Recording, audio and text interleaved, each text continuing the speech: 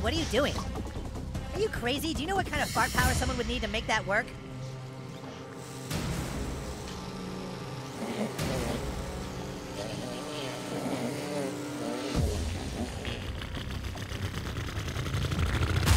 Jesus Christ, that's an asshole? What? What happened? The new kid shoved a tube up his ass and cleared away all the lava. Oh. You guys go and get chaos. I've got to try and stabilize Super Craig. Fuck! It's cute. What the fuck was that, you asshole? It's an intracardiac injection, Super Craig. I had to stabilize you. Are you fucking serious right now? You could have fucking killed me. Where the fuck did you get that, Cartman?